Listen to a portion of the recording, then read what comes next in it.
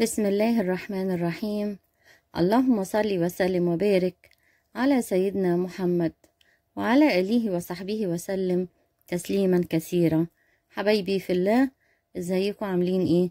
يا رب تكونوا جميعا بخير وصحة وسعادة وعافية وستر من الرحمن دايما يا رب.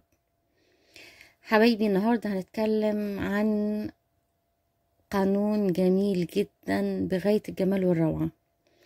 هيغير حياتك كلها 180 درجة. قانون جميل اسمه قانون التركيز. قبل ما نبدأ في الموضوع وندخل في الموضوع بتمنى من متابعيني الكرام يا ريت اللي ما اشتركش في قناتي يشترك ويفعل زر الجرس عشان يوصله كل جديد. وما تنسونيش في ال like وفي ال comment اكتبوا لي تعليقات ودايما اذكروا الله في التعليقات خلونا ناخد ثواب. ويبقى يا رب إن شاء الله صدقة جارية. والدال على الخير. كفاعله ربنا يا رب يجعله في ميزان حسناتنا جميعا. قانون التركيز يا جماعة. قانون التركيز قانون جميل جدا. لو بجد ركزتوا هتلاقوا فرق كبير في حياتكم وإن حياتكم تتغير للأفضل إن شاء الله. بمعنى إيه قانون التركيز؟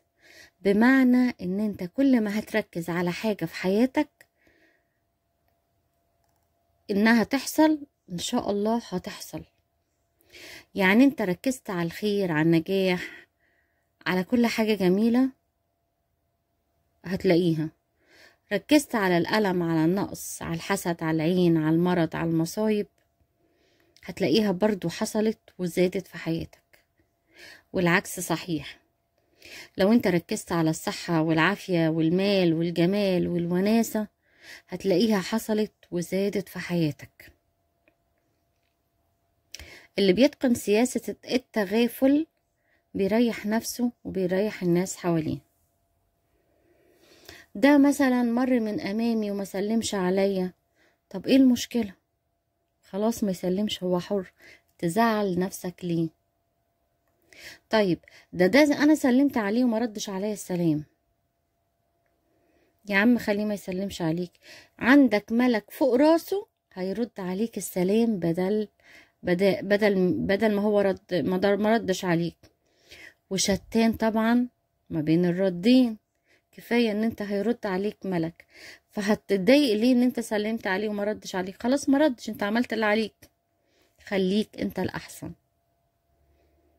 طيب ده فلان قابل إحسانك ليه بالإساءة ومعروفك ليه بالجحود وخيرك ليه بالجفاء. زعلان ليه؟ أيوه أنا معاكم ان الحاجات دي بتضايق وبتزعل وتخلي الواحد يحزن.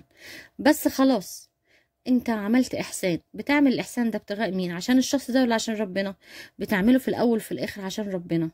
عملت المعروف ده في حد وما تمرش فيه وقابله بجحود. أنت بتعمل عشان البني آدم ده ولا عشان ربنا؟ عملت الخير ده ما ردش الخير بالخير رد بالجفاء والقسوة انت بتعمل الخير ده بتبتغي مرضات مين في الأول وفي الآخر؟ انت بتبتغي مرضات ربنا. يبقى خلاص ليه؟ لأن كل إناء ينضح بما فيه. حلو الكلام؟ حلو الكلام. طيب هنقول إن فلان دايما بيعارضك ورأيه عكس رأيك في غالب الأحيان. ما تزعلش عادي جدا. الخلاف في الرأي لا يفسد للود قضية. إيه المشكلة؟ إن أنت يبقى لك رأي معاكس لرأيه. ما نعملش مشكلة. طيب أعذاره متعددة ومبرراته دايما جاهزة.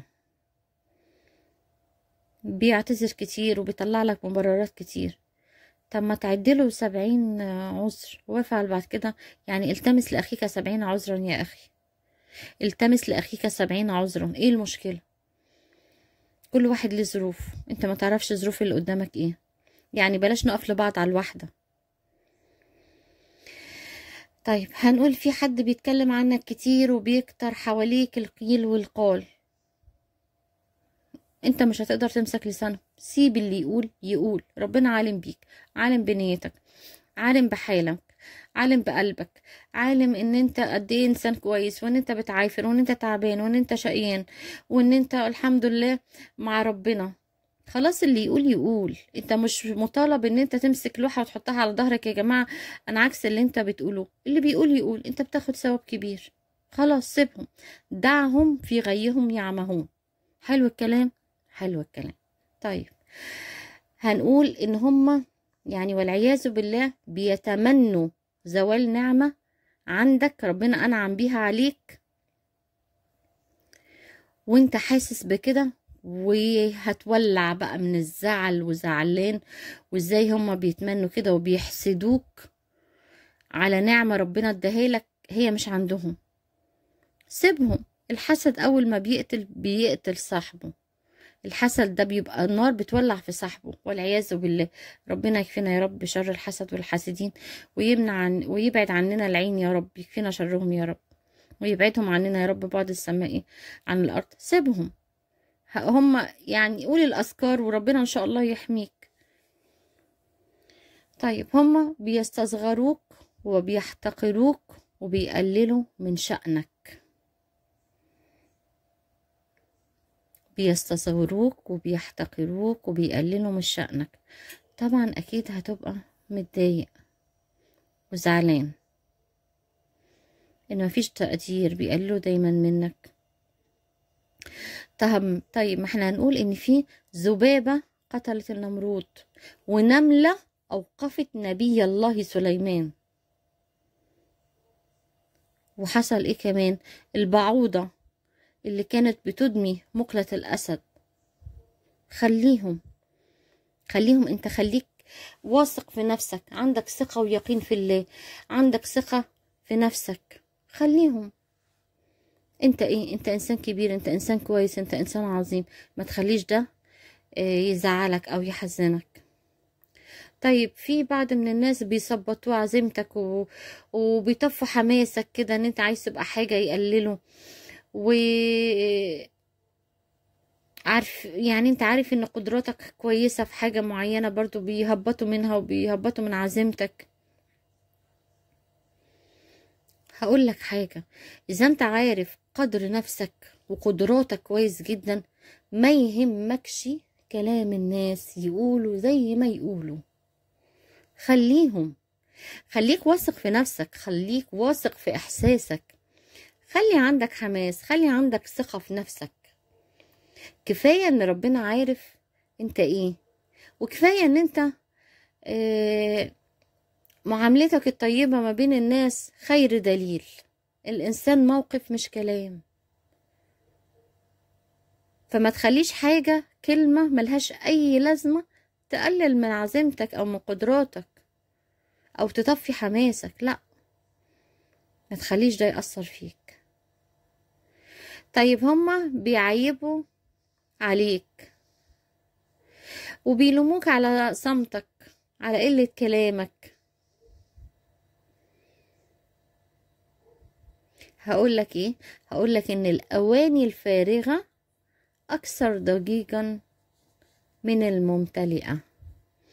يبقى إحنا كده قلنا مع بعض عشر حاجات. عشر حاجات. أنت لو ركزت فيهم هتنجح في حياتك. لو انت ما اديتش فرصة للناس دي ان هي تأثر عليك وتغير منك أو تقلل منك أو أو تطفي حماسك أو تهبط عزيمتك أو تستصغرك. ركز في كل الكلام ده وتجنبه عشان تعيش عيشة كويسة. في الآخر أنا لا أبحث عن مكان في قلب كل إنسان بل أبحث عن إيه؟ عن فردوس عند رب الجنان. أنت مش عايز مكان في قلب أي حد وفي قلب كل الناس لا أنت عايز مكان واحد اللي هو إيه في الآخر؟ اللي هو الفردوس الأعلى يا رب. اللهم ان يسألك الفردوس الأعلى من الجنة آمين يا رب العالمين. إحنا بندور عن الإحسان والتعامل مع الناس اللي إن شاء الله ناس كويسة مش هتنساه. فما تندمش على لحظات انت أسعدت بيها حد حتى لو ما كانش يستحق. هو لو ما كانش يستحق فأنت تستحق إن أنت تبقى كويس. أعمل الخير في أهله وفي غير أهله. فإن وقع في أهله فأنت أهله. وإن لم يقع في أهله فخلاص يعني أنت عملت اللي عليك. كن شيء جميل في حياة اللي بيعرفك واللي ما بيعرفكش. وكفاية إن إحنا لينا رب هيجازينا بالإحسان إحسانا. كفاية إن ربنا عالم بينا وهيجازينا خير إن شاء الله.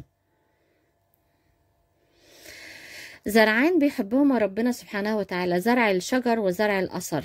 فإذا أنت زرعت الشجر ربحت إيه؟ ظل وثمر. وإذا أنت زرعت طيب الأثر حصدت محبة الله ثم البشر. فخليك دايما واثق في ربنا إن ربنا رب قلوب وعالم بيك وبحالك وبقلبك وبنيتك الجميلة.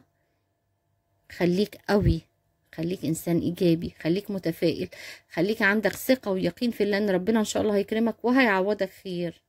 فما تزعلش وما تحزنش. دعهم في غيهم. خلاص سيبهم. ربنا رب قلوب. حبايبي في الله آه سعيدة جدا أنا طلعت معاكم الدقايق الجميلة دي. بتمنى كل من متابعيني الكرام اللي ما شاركش في قناتي لحد دلوقتي يشترك في القناة ويفعل زر الجرس عشان يوصلوا كل جديد. وأتمنى إن أنتوا تعملوا لي like و comment مش هكلفكم حاجة. ويا ريت ال comment كله يكون عامر بذكر الله ألا بذكر الله تطمئن القلوب. نصلي على سيدنا محمد نكتب آه الباقيات الصالحات سبحان الله والحمد لله ولا إله إلا الله والله أكبر. نعلى في الكومنتات بذكر الله ألا بذكر الله تطمئن القلوب. نختم كلامنا بأحب الكلام والذكر إلى الله. سبحان الله والحمد لله ولا إله إلا الله والله أكبر. ولا حول ولا قوة إلا بالله العلي العظيم. اللهم صل وسلم وبارك على سيدنا محمد وعلى آله وصحبه وسلم تسليما كثيرا. أستغفر الله العظيم الذي لا إله إلا هو الحي القيوم وأتوب إليه. عدد خلقه ورضا نفسه وزنة عرشه ومداد كلماته. عدد ما كان وعدد ما يكون وعدد الحركات والسكون. والحمد لله رب العالمين. حبايبي في الله أشوفكم قريب إن شاء الله في فيديو جديد. أسيبكم في حفظ الله ورعايته. في أمان الله.